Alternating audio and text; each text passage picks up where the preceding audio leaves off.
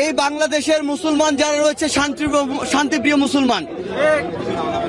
এই বাংলাদেশের মুসলমান যারা রয়েছে, তারা আসলে, তারা যেমন নিজেদের ধর্মের প্রতি তাদের সহানুভূতি রয়েছে, অন্যান্য ধর্মের যারা রয়েছে, তাদের প্রতিও তাদের সহানুভূতি রয়েছে।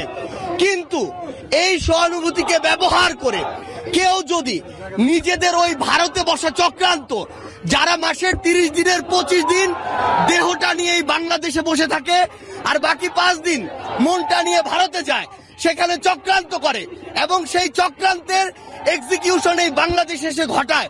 সে সকল উগ্রবাদী হিন্দুদেরকে প্রতিহত করার জন্য আমাদের মনে বিন্দু মাত্র সহানুভূতি থাকবে না। আমরা আমাদের জায়গা থেকে স্পষ্ট করে বলতে চাই আমরা অনেক সহ্য করেছি। আমরা আমাদের জায়গা থেকে সর্বোচ্চ উদারতা দেখিয়েছি। আমরা দেখেছি এই অভ্যুত্থানের পূর্বে কারা কতটুকু এই অভ্যুত্থানকে সমর্থন করেছিল। আমরা দেখেছি এই বাংলাদেশ থেকে শেখ হাসিনা পালিয়ে যাওয়ার পরে কাদের মন সবচেয়ে বেশি খারাপ হয়েছে। আমরা আমাদের জায়গা থেকে স্পষ্ট দেখেছি, যখন এই বাংলাদেশে অভ্যুত্থান পরবর্তী সময় একটি অস্থিতিশীল পরিবেশ হওয়ার কথা ছিল, তখন কীভাবে আমাদের এই মাদ্রাসার ভাইরা ওই মন্দিরে গিয়ে পাহারা দিয়েছে?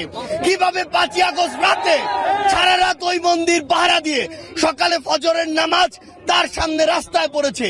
সেখানে এই সহানুভূতিকে কেউ যদি প্রশ্রয় হিসেবে দেখে, আমরা স্পষ্ট করে বলে দিতে চাই, শুধু অন্তর্বর্তীকালীন সরকার নয়, বৈষম্য বিরোধী ছাত্র আন্দোলন নয়, জাতীয় নাগরিক কমিটি নয়, পুরো বাংলাদেশ একসাথে এ সকল উগ্রপন্থীদেরকে প্রতিহত করবে।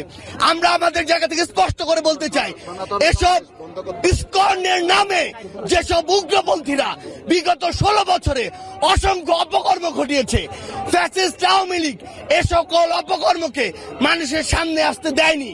তারা ইস্কনের এ সকল অপকর্মকে মদত দিয়েছে, প্রশ্রয় দিয়েছে, আশ্রয় দিয়েছে, লুকিয়ে রেখেছে। কিন্তু তাদের চরিত্র কি? তারা কীভাবে মানুষকে জবাই করে? এই দৃশ্য আমরা গতকালকে দেখেছি।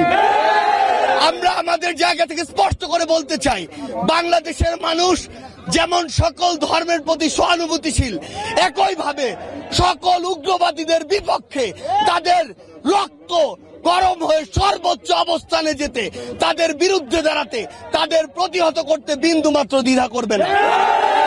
আমরা আমাদের জায়গা থেকে সরকারকে স্পষ্ট করে বলতে চাই, যারা আমার ভাইকে হত্যা করেছে, তাদেরকে যদি গ্রেপ্তার করে দৃষ্টান্তমূলক শাস্তি না দেওয়া হয়, তাহলে পুরো বাংলাদেশের এই যে ছাত্র জনতা একসাথে সরকারের বিরুদ্ধে তাদের জায়গা থেকে প্রতিবাদ জানাবে। আমরা আমাদের জায়গা থেকে বলে দিতে চাই, যদি এই ক্ষেত্রে দৃষ্টান্তমূলক শাস্তি না হয় তাহলে এটি হবে সরকারের বিচার ব্যবস্থার ক্ষেত্রে অন্যতম একটি ব্যর্থতা।